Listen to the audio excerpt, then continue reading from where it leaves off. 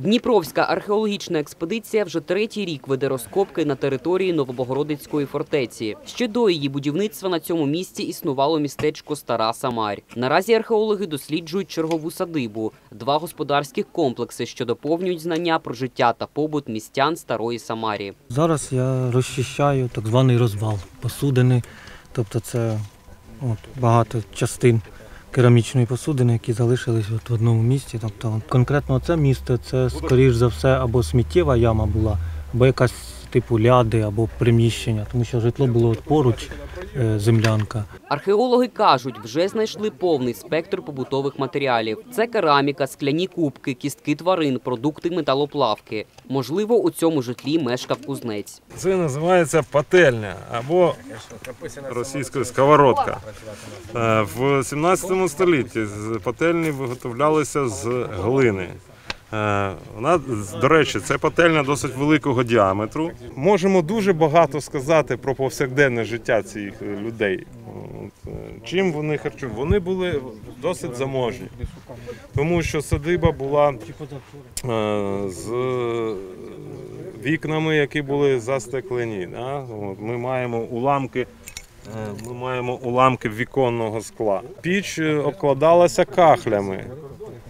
Е, Це не була не просто пічка така, знаєте, з цеглини, от, а вона ззовні була е, кахлями е, обкладена. Початкова обробка та попередня експертиза знахідок здійснюється у таборі. Після закінчення сезону відбувається камеральна обробка вже у приміщенні за допомогою спеціальної апаратури. Потім артефакти їдуть до Києва. перстень з печаткою, на якому зображена пташка.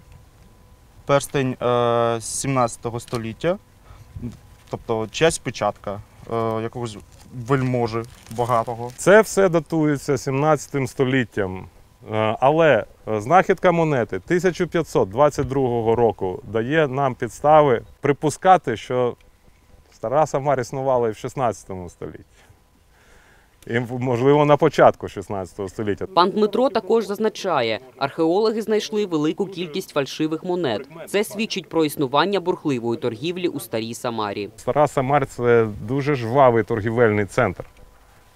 Потужний е, торгівельний центр, е, який пов'язував південь з е, Причорномор'я, південь Туреччину, е, Османську імперію з е, європейськими країнами. Тобто міф е, про те, що до появи Катерини II, до появи імперії російської, тут в наших степах було дико пусто і нікчемно, це абсолютна нісенітниця, це брехня.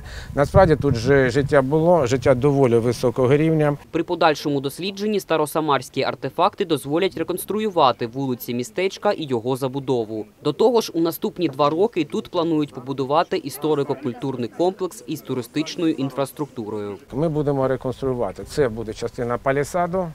Так, це будуть вежі, це буде брама, це буде ров.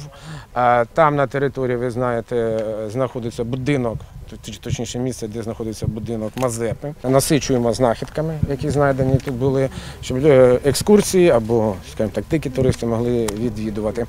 Георгій Марков, Тарас Іванов. Новини 9 каналу.